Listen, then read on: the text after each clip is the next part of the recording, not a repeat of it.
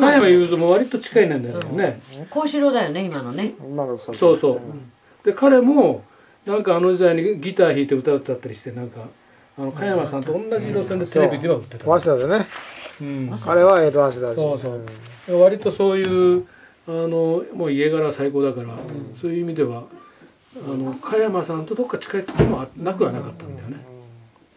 うん、でまあこれはもちろんこの後もうちょっとしてから「ラ・マンチャの男」をねまた舞台とは別にあの歌舞伎とはまた別にね、うん、あれが彼のライフワークになってるから一つのアニメで、うん。うん。うん、そういう面ではやはり歌舞伎界のスーパースターなんですか？演技力も傑出して四郎家はやっぱし一つの家だからね、そういう意味では子供にも恵まれてるしね、うん。奥さん誰だっけ？わうん、忘れちゃった、うん。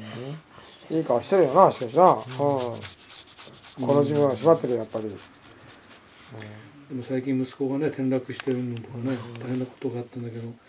でもでも確かにあれだよね。本当にあの家福あざなえる生のごとして、あのやっぱりこういう芸能人とそれをもう身をもって体験してるからそこは落ち着いてるよね。そういうあのいざっていう時にねさすがそういうの時は役者やなと思ってましたけどね、うん、結局結局そこの違いなんだね。あの家の違いっていうのは。うん。はいカンプロが危ないじ危ない。